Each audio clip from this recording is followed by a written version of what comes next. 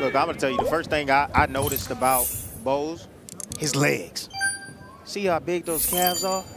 Take a look. Oh! They ain't big enough to hold him up, I don't think.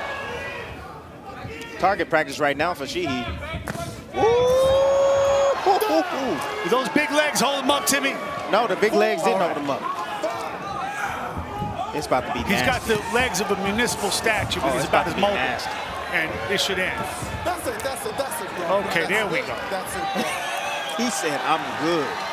Look, I'm, I'm, I'm telling you right now, when you get hit with big shots like that, you know, this is pretty much target practice right here.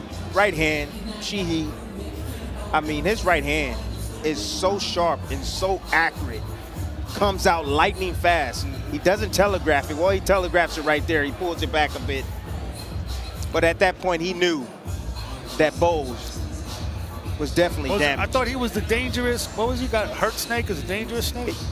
Mark, you always got to be cautious, especially when you hurt your opponent, because guess what? It's life or death in there, and he will fight back. You can tell me he really doesn't